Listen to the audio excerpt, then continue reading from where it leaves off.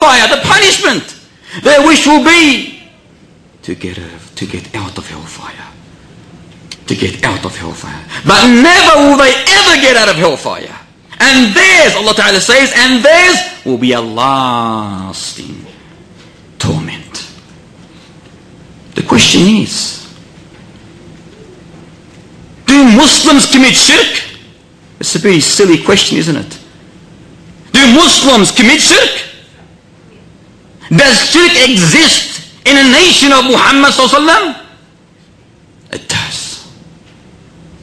Allah Ta'ala answers this saying, وَمَا يُؤْمِنُ أَكْثَرُهُم بِاللَّهِ إِلَّا وَهُم مُشْرِكُونَ And the majority believe not in Allah Ta'ala, but they associate partners with Him. The majority, they claim to be the bearers of faith of La ilaha illallah, do not understand Tawheed, do not understand Shirk. Apparently they are Muslims. But unconsciously they are indulged, they are involved in acts of Shirk. Supplicating, praying, seeking refuge, seeking aid from the dead, from the saints, from the prophets, from the angels, from the jinn, from the living. They make their vows to them. They offer their slaughter into them. They invoke them for the fulfillment of their wishes. They even, wallahi, many Muslims attribute their sons to these false deities. And despite all of these actions, they claim to be strong Muslims. Strong Muslims. This is not Islam.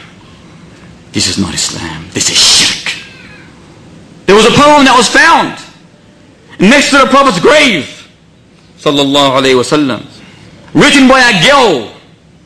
This poem read, O Prophet of Allah, come to our world caught in the flames of war. O Prophet of Allah, come to the, to the rescue of a ummah plunged in the darkness of doubts Islam.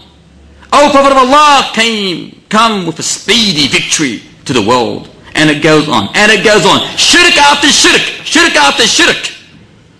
This person obviously claims to be a Muslim, but ignorant of Tawheed and ignorant of Shirk. Not knowing what Shirk is.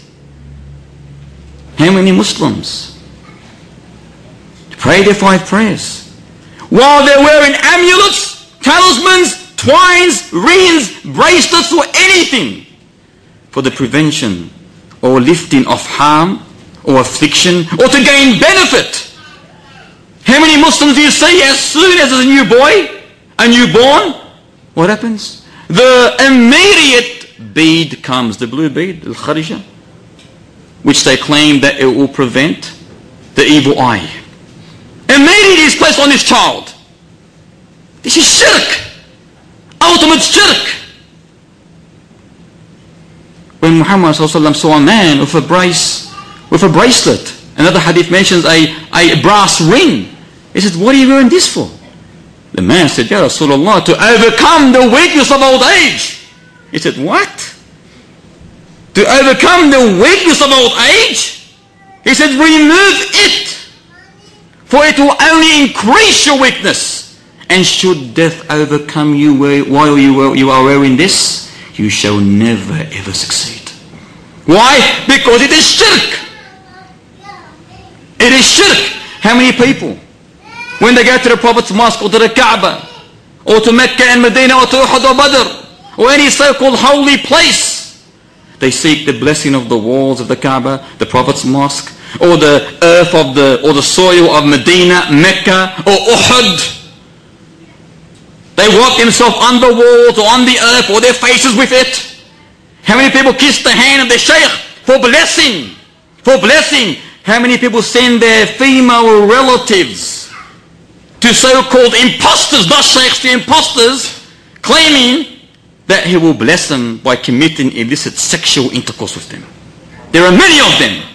Wallahi, many. This is shirk. This is shirk. How many people swear by other than Allah Ta'ala? بالنبي برحمة أبيك بشرفك والله بفجر هذا النهار I say by the daybreak of this day or بالليل or برحمة أبيك or بشرفك for example he says well shirk obviously they have not understood Tawheed nor have they understood shirk how many people say had there not been this doggy this house would be robbed or had not had been for this person he would have been killed or had not had not where's Allah Where's Allah in all this? This is shirk. How many people believe in those imposters that claim to know the unseen? Astrologers, soothsayers, fortune tellers, magicians, sorcerers. Nothing but imposters stealing from the feeble-minded, ignorant Muslims. This is shirk. This is shirk. How many people believe in the horoscopes? And after believing in the horoscopes, they go to the books, the magazines, the newspapers to read the star signs. You know, I'm Libra. I'm this, I'm that. I want to see what's going to happen this month, or this year, or this day. This is shirk. This is shirk. Oh Muslims, oh believers. How many people believe in pantheism, that everything is Allah and Allah is everything? This is shirk in essence like Al-Hallaj, who was one of the greatest leaders of this belief and the originators of this sect, he said, I am Allah and Allah is I. And thus he was condemned by all the scholars of his time and thus executed, slaughtered. Why? Because he's a mushrik. And they killed this shirk belief by killing him. Yet his followers are many. وَمَا يُؤْمِنُ أَكْثَرُهُم بِاللَّهِ إِلَّا وَهُم مُشْرِكُونَ and the majority believe not except that they commit acts of shirk. Brothers and sisters, this is not a lesson of shirk, but it's a warning that we Muslims should be aware of this, aware of this, vigilant.